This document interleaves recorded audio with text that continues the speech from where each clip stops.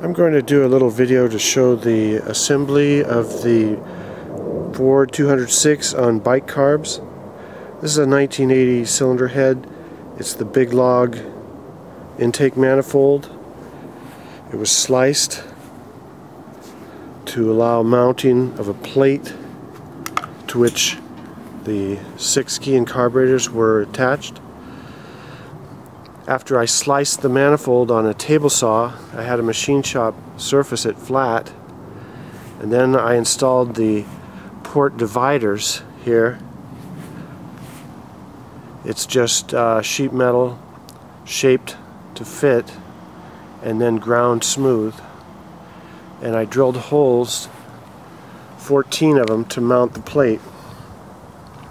You can see the ports shoot straight down into the valves and the spacing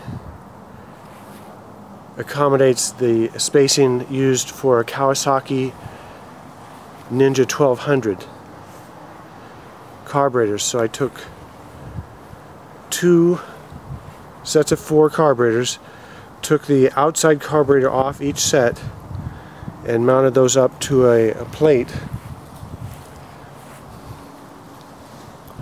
This fabrication that holds them all in position and to that I mounted the boots onto a steel plate. The uh, mounting tabs for the boots are welded flush on the backside so the boots can mount airtight. These are vacuum lines drawing off. So we have the carburetors mounting into the boots Got a gasket here for the plate and the plate mounts onto the head. Runs with a lot of power.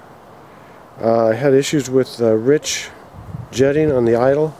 Still needs to be worked out. So to spare the air, I'm taking it off and I'm going to do that work and we'll get it back on and see how it runs.